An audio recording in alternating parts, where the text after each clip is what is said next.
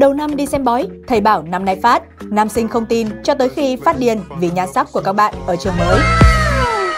Một đoạn video được quay tại trường Trung học phổ thông Huỳnh Thúc Kháng, thành phố Vinh, tỉnh Nghệ An với những khoảnh khắc tổng hợp dù ngắn nhưng lại khiến ai nấy tương tư dài. Vì gian trai xinh gái đẹp với những chiếc nhan sắc trong veo thanh thuần tại đây.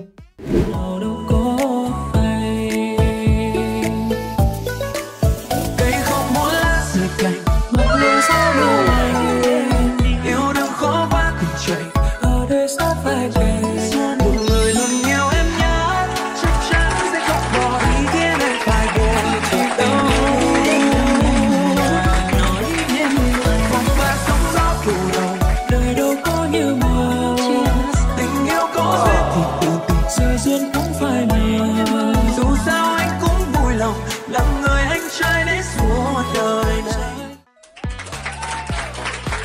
Từ trong lớp ra tới sân trường mỗi một ánh mắt một nụ cười đều khiến ai nấy phải ngẩn ngơ Đúng là cái tuổi đẹp nhất, vẻ đẹp trong trẻo tự nhiên dù chỉ khoác lên mình những chiếc áo đồng phục trắng đơn giản nhưng cũng đầy sức sống thanh xuân.